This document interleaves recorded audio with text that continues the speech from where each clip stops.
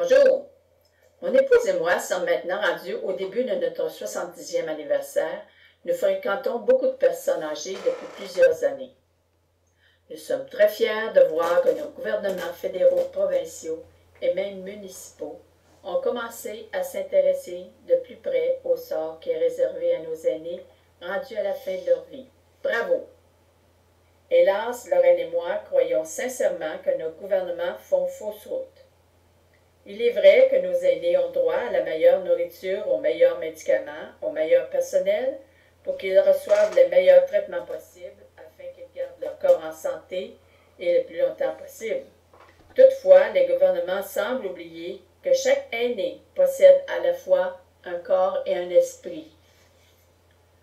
Lorsque dans votre esprit, l'âme ou le cœur, vous ressentez une grande paix, beaucoup d'amour pour les autres et aussi pour vous-même, que vous savez que là où vous vous dirigez, c'est un paradis, c'est à ce moment-là que la nourriture, les médicaments, les traitements et même la santé du corps vont perdre beaucoup d'importance.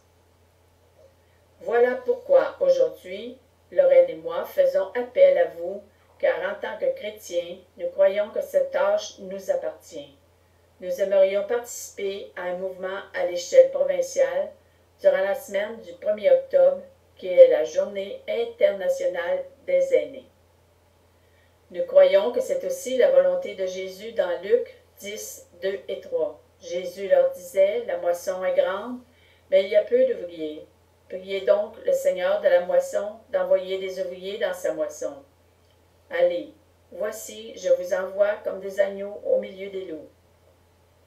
De quelle façon préconisons-nous cela? Nous rêvons de faire partie d'un mouvement où toutes les églises chrétiennes de la province y participeraient. Nous souhaitons que dans les deux semaines qui précèdent la Journée internationale des aînés, les pasteurs de chaque église qui se joindront à nous pour l'évangélisation des aînés auront le temps de rencontrer leurs membres, le but étant de leur faire des recommandations pour bien les diriger avant qu'ils visitent les aînés de la même façon que Jésus fit avant d'envoyer ses disciples dans les villes, dans Luc 10, 3 à 20. Un jour, afin de mieux communiquer avec les aînés, nous nous sommes posé une question. Pourquoi nos aînés s'isolent et se renferment sur eux-mêmes? Dans notre réflexion, nous avons étudié le cas de ma mère lors de son 90e anniversaire. Si elle était née en avril 1817 au lieu de 1917, elle aurait été un vrai trésor pour ses enfants et ses petits-enfants.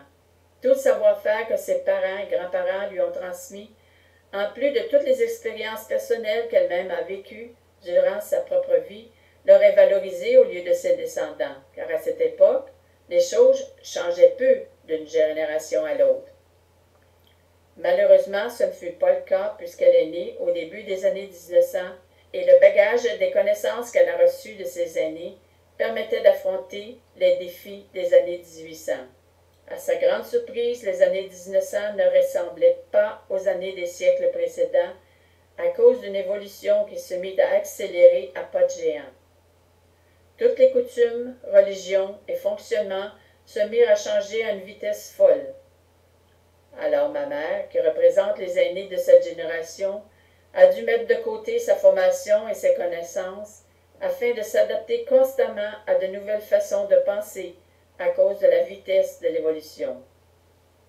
Elle a pu tenir le coup jusqu'à près de 60 ans.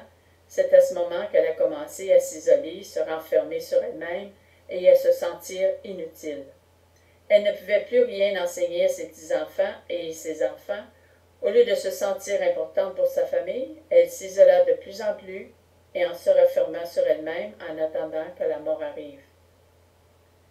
Lorraine et moi croyons réellement que les trois premières générations qui sont nées au début des années 1900 sont et seront des aînés qui ne pourront pas trouver leur vraie place, c'est-à-dire d'être un phare pour leurs successeurs. Voilà pourquoi il est urgent de leur venir en aide afin qu'il ne soit pas trop tard, car ces trois générations sont arrivées à la fin de leur vie active et maintenant à la vie éternelle. S'il vous plaît, Collaborons avec nos gouvernements en visitant nos aînés. Lorraine et moi avons réalisé un petit documentaire vidéo d'une durée de 46 minutes dont le titre est Après la vie. Ce documentaire est conçu pour être un outil pour une personne qui un jour décide de réconforter ou évangéliser un aîné. La première partie consiste à nous faire voir à travers les yeux de 80% des aînés arrivés à la fin de leur vie active et qui font face à la mort. La deuxième partie nous fait voir à travers les yeux des personnes de ce monde moderne en 2012. La troisième partie nous fait voir à travers les yeux de Jésus qui vit depuis 2000 ans. La quatrième partie est la conclusion. Nous avons ajouté un autre petit documentaire. Le titre est plus bel héritage à donner.